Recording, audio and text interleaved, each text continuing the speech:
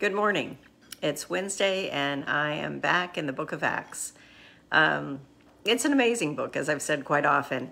And now we're up to chapter 21. I'm going to read the first 16 verses, or at least attempt to. And um, the church by this time is established in a lot of different places. And so, as Paul and his traveling companions are moving from one place to another, they're staying with folks who are Christians, who are part of the community. And um, he is on his way to Jerusalem, which it looks like nobody's happy about. So I'm going to read these first 16 verses for you. oh, and remember that just um, right before this, they were in uh, Ephesus, close to Ephesus, where the leaders of that community came out to say goodbye to Paul, and he had been with them three years. So it says, and so with the tearful goodbyes behind us, we were on our way. We made a straight run to Kos, and the next day we reached Rhodes and then went to Patara. There we found a ship going direct to Phoenicia, got on board and set sail.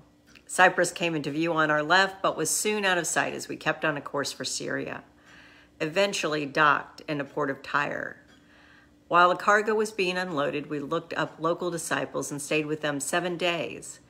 Their message to Paul, from an insight given by the Spirit, was don't go to Jerusalem.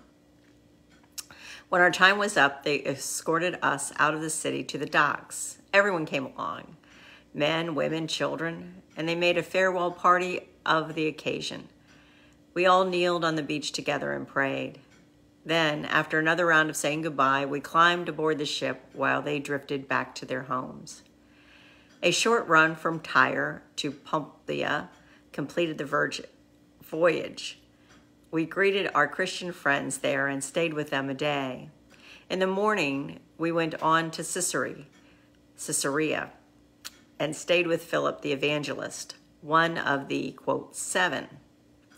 Philip had four virgin daughters who prophesied. After several days of visiting, a prophet from Judea by the name of Agabus came down to see us. He went right up to Paul, took Paul's belt, and then, in a dramatic gesture, tied himself up, hands and feet, and said, This is what the Holy Spirit says. The Jews in Jerusalem are going to tie up the man who owns this belt just like this and hand him over to godless unbelievers.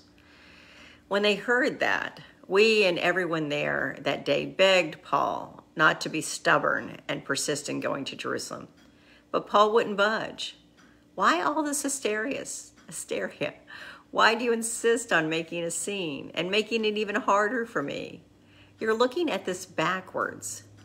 The issue in Jerusalem is not what they will do to me, whether they arrest or murder me, but what the Master Jesus does through my obedience. Can't you see that? We saw that we weren't even making a dent in his resolve and gave up.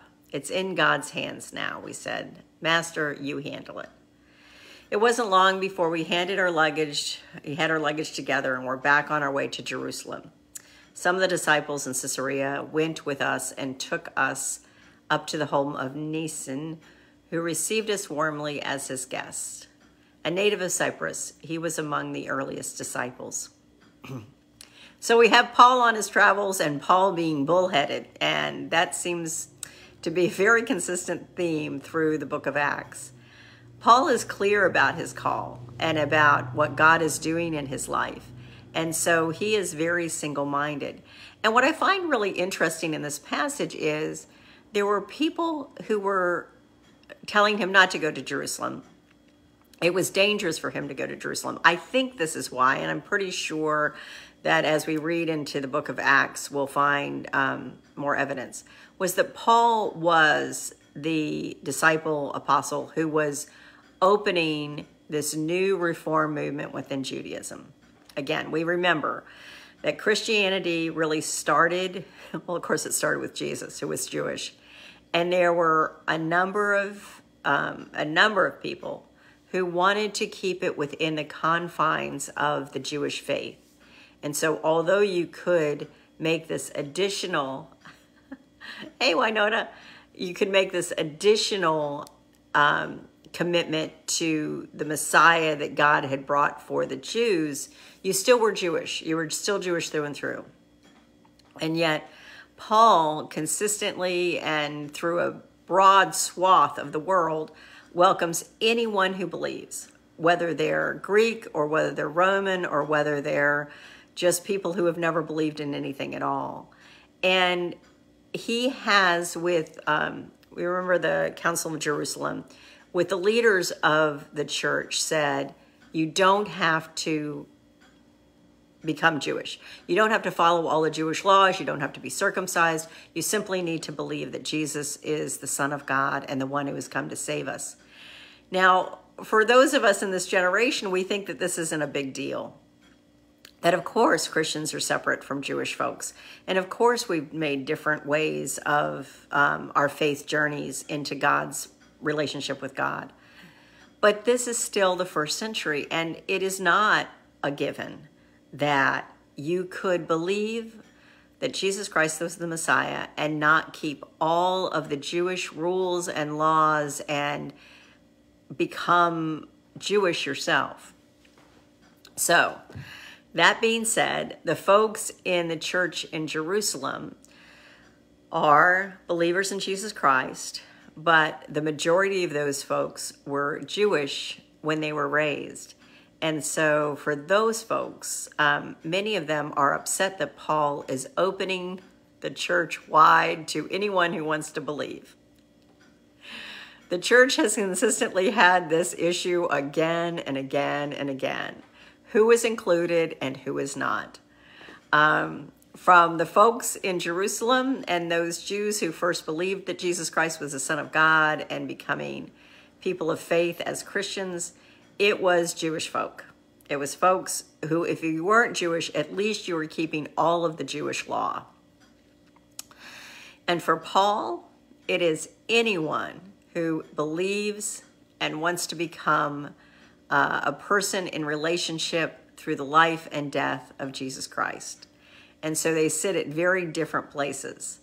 And Paul, I believe, wants to go back, although, again, I don't know exactly, but it seems as though Paul wants to go back to Jerusalem to make a point that he is a leader in the church as much as anyone else, even though the people that he is inviting in are not really welcomed by um, so many folks who are in the Christian church. I don't know if any of that made any sense, but the question since Christ died for us on that first Easter morning is who is in and who is out? Who gets invited into relationship with God and who does not? And what are the requirements for being in relationship with God through Jesus Christ? From Paul's perspective, it is anyone who believes. From many, many churches' perspectives and from the folks who were in Jerusalem, there's a whole lot of gates to go through, a whole lot of hurdles to jump, a whole lot of rules to follow before this welcome is really made for you. And for those of us who believe that um, all we need do is believe in Jesus Christ, I also would challenge you to think um, who we kind of sanction as Christians along with us. So the other thing I want to point out is not only are people through the Holy Spirit and through, again, um, this understanding. I mean, one of the men is a prophet, and he says, through the Holy Spirit, I want to tell you what's going to happen. Paul, as you go into Jerusalem, what's going to happen is they're going to tie you up and they're going to hand you over to uh, unbelievers, which is probably Roman authorities, which is in fact what happens, but spoiler alert. And so Paul, I think, was very much aware that if he went into Jerusalem, his life was in danger. That was the given. But then again, Jesus had known that if he went into Jerusalem, that Passover um, that he did, that his life was in danger. And so again, for Paul here, he says, that's not the point. The point is not whether or not my life will be in danger. The point is not whether or not I might get arrested or beaten up. The point is that I will be faithful to what God is calling me to do. And um, not that God calls people to go into dangerous situations just to make a point or just to get beaten up. But Paul had good news to tell those who were limiting the church to people they felt comfortable with. The people they felt comfortable with to become Christians were those who were Jewish and had lived a good and faithful Jewish life. And those good and faithful Jews had waited for the Messiah that God would bring into the world. And they were um, encouraged, uh, asked to believe that Jesus of Nazareth was that man. And as they came to believe, then they became Jews who became Christians, who became the foundation of that early church. And that was who Paul was. Paul was a faithful Jewish man who had had a revelation and understanding of Jesus Christ and had become a Christian. So that's the early church. And they are upset with Paul because Paul has been traveling far and wide and invited everyone in, no matter who they are, no matter what their former life was like, and is not requiring that they follow the Jewish law, is not requiring that they have the sign of Judaism, which is circumcision. We've talked about what circumcision is. And he is saying that all you need to do is believe that Jesus from Nazareth became the Christ, became the one who was our way into a special and forgiven and whole relationship with God. And it led to healing and eternal life in that um, loving relationship that God offered us through Jesus. And so people aren't happy about that. people are not happy in Jerusalem that Paul is welcoming everyone. But again, consistently true in who we are as people of faith. We want to make rules and limits upon who God welcomes and who God doesn't. And so this is Paul and Luke, because we have, again, that uh, plural noun of we, and this is what we're doing, and um, as we are on our way, our luggage got ready. So Luke is among them in this traveling portion of the book of Acts.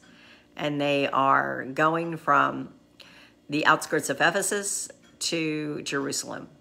And next week, when we pick up, we'll see what happens with Paul in Jerusalem as he, again, very stubbornly, bullheadedly, will follow what he believes God is calling him to do.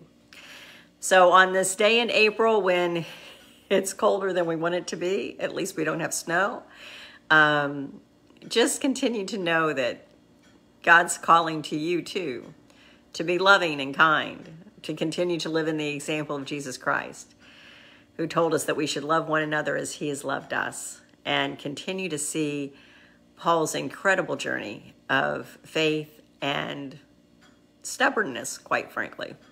So it's okay, as long as it's connected to God and what God can do through our lives.